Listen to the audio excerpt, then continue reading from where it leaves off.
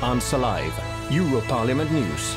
Benvenuti in Europarlament News, in studio Camilla Di Collalto, in redazione Monica Diamanti. Gas a Parlamento in campo per la crisi tra Russia e Ucraina, un sistema europeo di crediti per istruzione e formazione. Crisi economica, le imprese italiane chiedono misure strutturali.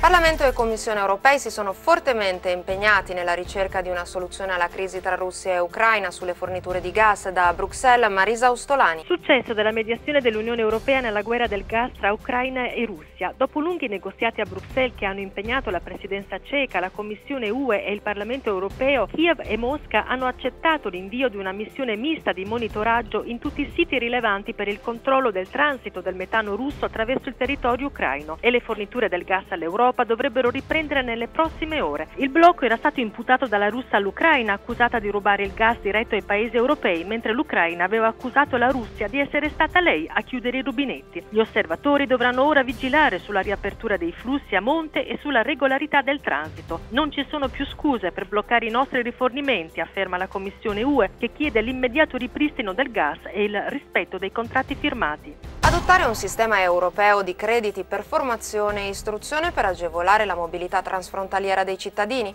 È questo l'obiettivo di due raccomandazioni adottate dal Parlamento europeo, il servizio. Il Parlamento europeo ha adottato una raccomandazione sull'istituzione di un sistema europeo di crediti per l'istruzione e la formazione professionale, ECVET, invitando gli Stati membri ad applicarlo su base volontaria entro il 2012. Uno dei principali ostacoli ad una maggiore mobilità transnazionale nelle nell'istruzione e nella formazione sta infatti nella difficoltà di individuare e riconoscere i risultati dell'apprendimento conseguiti durante il soggiorno in un altro paese. Il sistema non vuole armonizzare le qualifiche e i sistemi di istruzione e formazione, ma mira ad accrescerne la comparabilità e la compatibilità. Gli Stati membri sono inoltre invitati a sviluppare partnership e reti a livello europeo, nazionale e regionale. Le imprese italiane plaudono alle misure adottate dai governi europei per uscire dalla crisi economica, ma chiedono misure misure strutturali anche per il dopo crisi.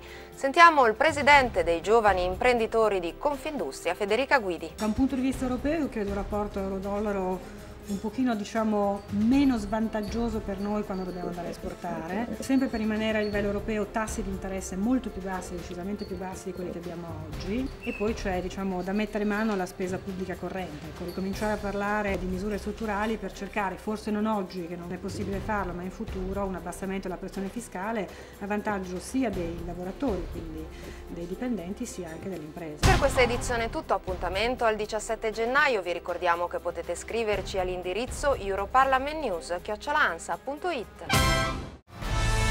Ansa Live, Europarlament News. Fondi comunitari a rischio per sette regioni europee, comprese Puglia e Calabria. Beniamino Donnici, parlamentare europeo, da tempo è protagonista di un'iniziativa forte per stimolare non solo le amministrazioni locali, ma anche le istituzioni europee a riscrivere le regole dell'utilizzo dei fondi. È una situazione a, a, macchia di leopardo, ma comunque difficile e critica. E noi continuiamo nelle regioni meridionali a restituire i soldi all'Europa e a impiegare male quelli che ci vengono dato da impiegare. Io sto facendo una grande battaglia perché il dato qual è? È che quando una regione dopo anni di finanziamenti, di flussi di risorse comunitarie importanti continua ad essere ancora obiettivo 1, oggi si dice obiettivo convergenza, significa che le politiche sono state fallimentari, che le classi dirigenti non hanno assolto ai propri compiti.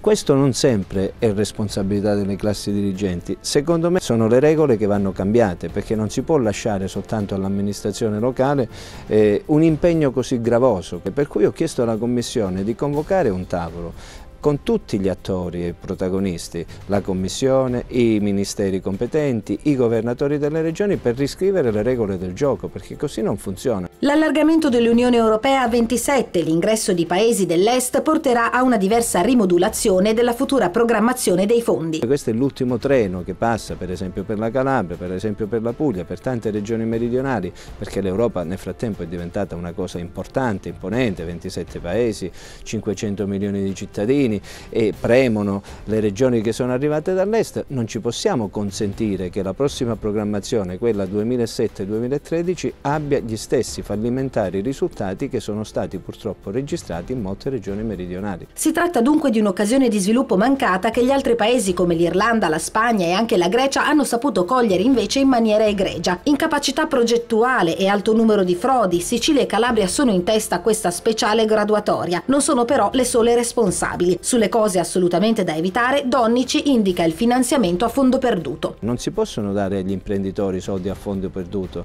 che significa creare parassitismo pseudo-imprenditoriale, alimentare corruzione. Non a caso Sicilia e Calabria sono le regioni con più, la più alta percentuale di frodi comunitarie. Tra le occasioni mancate di sviluppo, Donnici annovera anche per la regione Calabria le distrazioni di fondi da progetti di sviluppo della portualità a progetti di promozione. Io mi sono interrogato com'è possibile che una regione per esempio come la Calabria spenda tante risorse per eh, promozione prima di, di costruire un prodotto, perché intanto la promozione si deve fare su un prodotto che c'è. Quando manca il prodotto, in questo caso il prodotto turistico, il prodotto dell'immagine della Calabria, prima bisogna lavorare sul prodotto e poi promuoverlo.